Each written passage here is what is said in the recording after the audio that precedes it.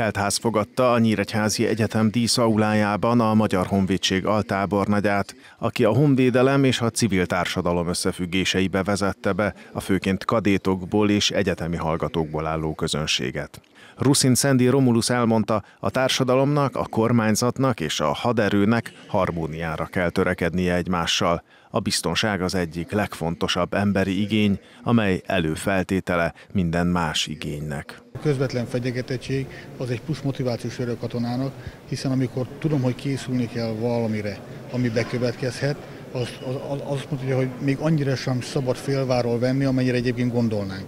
Ugye azt tudom mondani, hogy nem véletlen az, hogy ilyen gyorsan tudunk reagálni. Előadásban is említettem, akár a, a, a tűzese Szlovéniába, akár a NATO megerősítése Koszovóba ez, ez ad egy plusz erőt a katonáknak. Hogy a társadalomban ez hogyan csapódik le, én azt gondolom, hogy ez egy, ez egy szélesebb mérést igényel.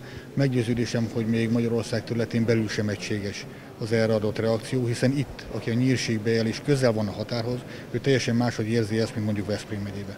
Ruszin Szendi Romulus hozzátette, a haderőfejlesztést a közelmúlt olyan eseményei is indokolják, mint a déli határnál kialakult migrációs nyomás vagy a koronavírus járvány.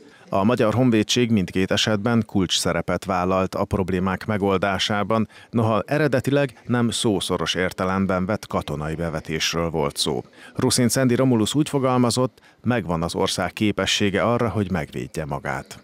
Azt tudom mondani, hogy megvan most az erőnk amivel azonnal tudunk reagálni, és ha egy parancsnokot kérdeznek, hogy van-e elegendő katonája, soha nem fogja azt hallani, hogy van mindig kell több, már csak azért is, mert, mert öregszünk, a fiatalokra mindig szükség van, és én azt gondolom, hogy ha minél több magyar fiatal próbálja ki magát mundérba. Ahogy szoktam fogalmazni, minél több magyar fiatal megtanul célzott lövést leadni 100 méterre gépkorabéjjal, attól az ország lesz erősebb.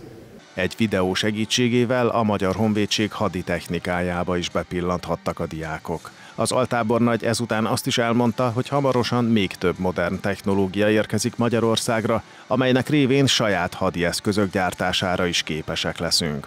Az előadó hangsúlyozta, a kor igényeinek megfelelően hazánkban is létrehozták a kiberparancsnokságot, és előbb-utóbb az űrbe is képesek leszünk információt juttatni. A hadipar fejlesztéshez azonban szükség van a társadalommal való szorosabb kapcsolatra is, mint amit a katonazenekarok jelenléte eredményez, hiszen Magyarországon jó ideje megszüntették a sorkatonai szolgálatot.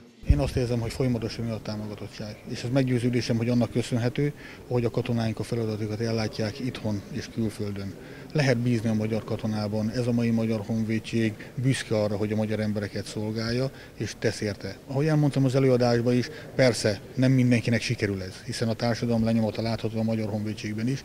A különbség az, hogy mi nem engedjük, hogy akkor mundérba folytassák az életüket, mert a mi becsületünk, a mi tiszteletünk, azt meg kell tartani. Nekünk úgy kell viselkedni, nem csak ahogy mi saját magunktól elvárjuk, hanem hogy a társadalom elvárja tőlünk.